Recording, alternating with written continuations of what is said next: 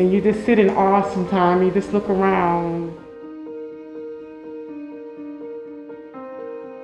For more than two years, Janarius Robinson's mom, Cherine Duncan, has waited to return home. Being a parent, not having a house for him to come home to and able to see him come home to his own room, I'm excited and happy. It's been great, just you know, just to get a chance to come back home and you know, just see how the house has come along from you know two years ago and just seeing her happy. That's most importantly what I'm uh, grateful for and thankful for. On October 10, 2018, as Hurricane Michael made landfall in Panama City, the destruction was widespread, including the property that housed four generations of Duncan's family. Devastation.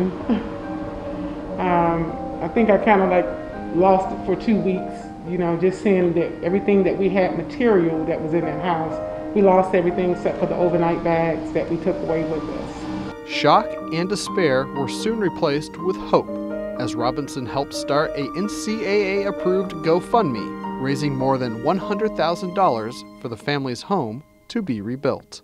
I didn't know we was going to get this much money. I just wanted, you know, to, to get something to just start us back and get us back on our feet. But, you know, luckily we were blessed enough and, you know, fortunate enough to have all the support from, you know, everyone and, you know, uh, contributions to the GoFundMe to help me and my uh, family to get our house back.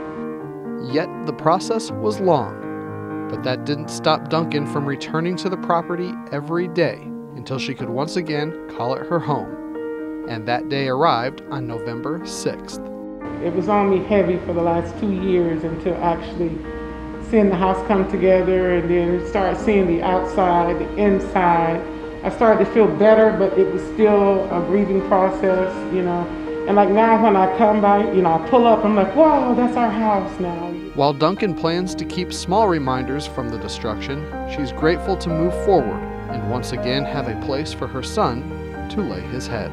And I said, what's more important to me, being a parent and not having a place for him to come home to, like, uh, you know, last night I tiptoed in his room just to look at him laying in his bed. So that was excitement to me. Uh, it's a happy time. You know, sometimes I sit in there, tears fall because I look around and see how blessed I was. Just think, you know, I just thank God for the Seminole family and everybody else that helped us, and it's just a blessing.